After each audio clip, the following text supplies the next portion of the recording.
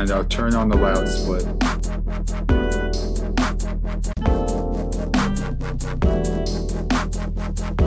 What's up everybody, Signal here. I love this little trick I'm about to show you. This is one of my favorite things about Bitwig. It's really simple and it involves the loud split. So here's a bass. I'm working on it right now. You can see we just have a bunch of EQs, um, distortions, compressors. I'm just trying to get it to fit, right? So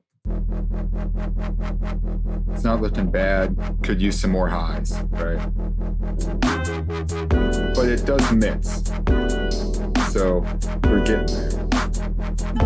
What it needs is a boost of presence, okay? So I'm going to turn on my loud split. This is in default mode, and I'm going to solo out the green, the most quiet bit.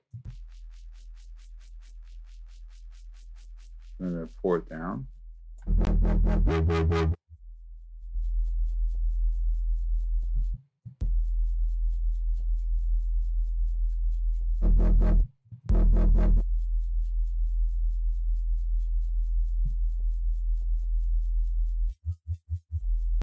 going to grab an EQ2. See this? This is what we're working with now. So bringing some presence out of this should be pretty easy.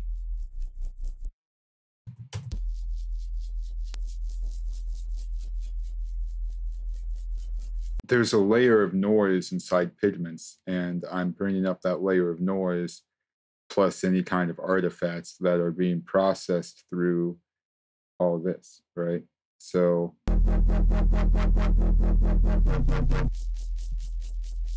Oh, that's something to pan. Cut the lows out. Ooh.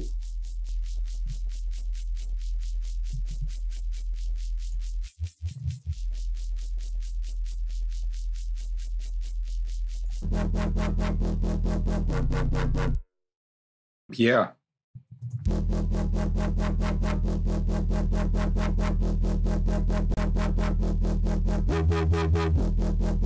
Okay, so let's turn that off.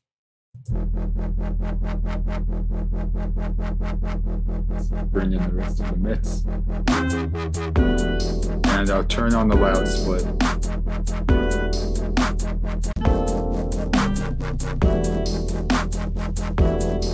That cool? It's already there. Bitwig brings a whole new perspective to the game. It's crazy because you could do this with an EQ, but then you'd also be turning this stuff up, right?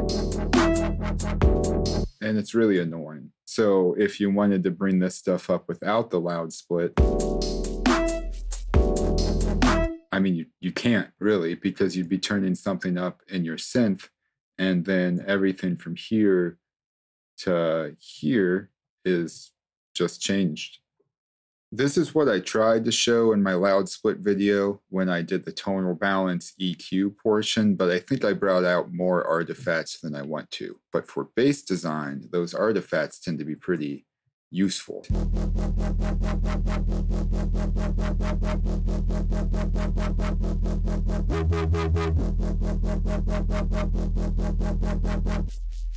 That's all for today you should check out the Patreon. I put some analog drum samples up I made with a Mini Brute S2, 2S, 2S.